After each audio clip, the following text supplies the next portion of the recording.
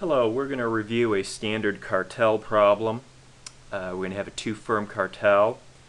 These firms producing identical products face a market inverse demand equation of 4400 minus 200Q.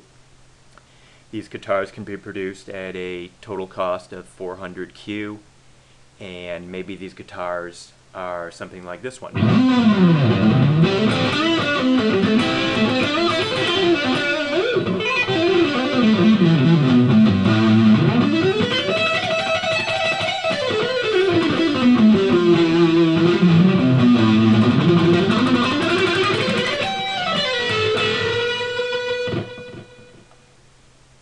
Or maybe not. So now we're going to take this inverse market demand equation and solve for marginal revenue. The marginal revenue equation having a slope that is twice as steep as the inverse demand equation. Instead of minus 200q, it's 2 times that, minus 400q.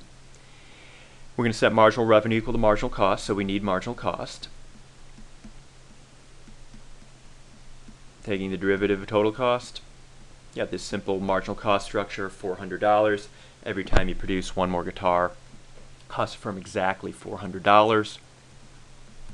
Setting marginal revenue equal to marginal cost. This cartel is trying to maximize joint industry profit.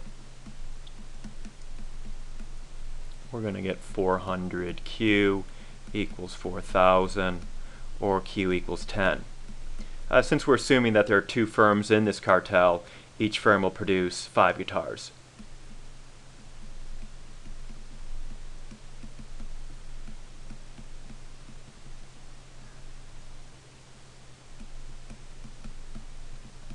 And these guitars will be sold at at a price of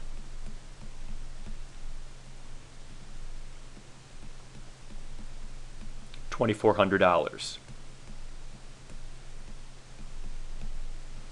All I'm doing here is evaluating the inverse demand equation at the market output of 10 guitars.